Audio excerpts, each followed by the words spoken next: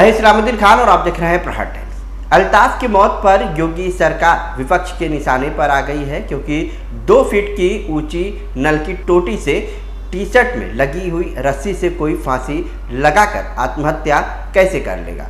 जबकि अल्ताफ पाँच फीट छः इंच का था तो सवाल तो उठेगा ही। ये पूरा मामला यूपी के कासगंज का है। कासगंज पुलिस ने 22 साल के अल्ताफ को एक नाबालिग लड़की के अगवा होने के मामले में 8 नवंबर को पूछताछ के लिए ले गई थी, मगर 9 नवंबर को अल्ताफ के मौत की खबर सामने आई।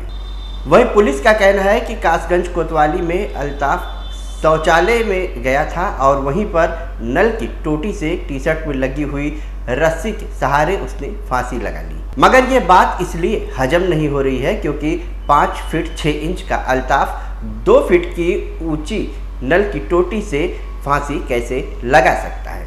वहीं परिवार ने पुलिस पर यह आरोप लगाया है कि अल्ताफ के साथ पुलिस ने प्रताड़ना की ऐसा आरोप परिवार के तरफ़ से लगाया जा रहा है। पहले सुने परिवार ने क्या कुछ आरोप लगाया है? उसके बाद पुलिस ने कितनी सफ़ाई इस मामले में दी है वो भी हम आपको सुनाएँगे। मगर सबसे पहले आप परिवार क्या कह रहे हैं वो सुनिए। मेरा नाम फातिमा जो आपकी बेटी की हत्या है या आत्महत्या? हत्या करी गई है उसकी। वो खुदकुशी नहीं करता अल्लाह। किस आरोप में ले गए थे उठा के?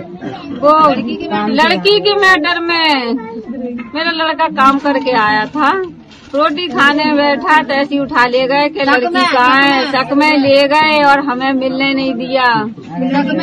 जब हमारा लड़का घर में पहुँचा दिया तब खबर करिए सो भी हमारे मोहल्ले के दान पुराना है उसने। तब हम सब पूरा मोहल्ला भागते गए। तो अभी नहीं दिखाया पोस्टमार्टम से पहले दिखाते हैं। दिखाते नहीं दिखाते हैं कहीं निशान है कुछ है पता तो चले नहीं दिखाया। पोस्टमार्टम से पहले किसी को ही नहीं क्या बड़ा बेटा था आपके घर में और कमाने वाला कौन कौन है?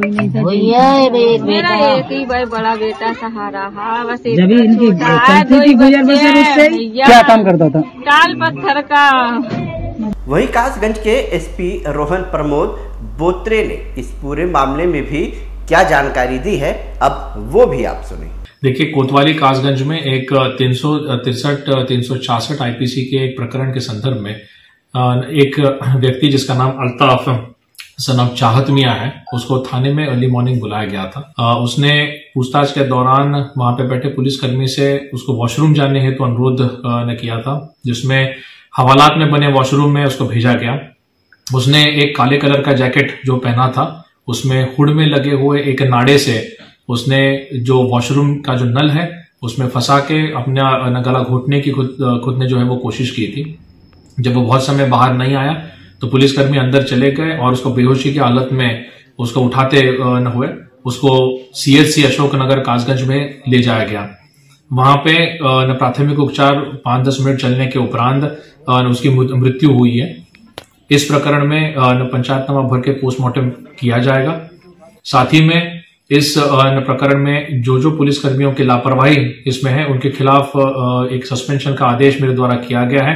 पाँच पुलिसकर्मियों को इसमें सस्पेंड किया जाएगा। वहीं अल्ताफ की जो पोस्टमार्टम रिपोर्ट आई है, उसमें कहा गया है कि मौत हैंगिंग यानी कि दम घुटने की वजह से हुई है। मगर सवाल अब भी बरकरार है कि दो फीट की ऊँची नल की टोटी से फांसी कोई कैसे लगा सकता है? तमाम खबरों को जानने के लिए देखते रहिए प्रहार टाइम्स।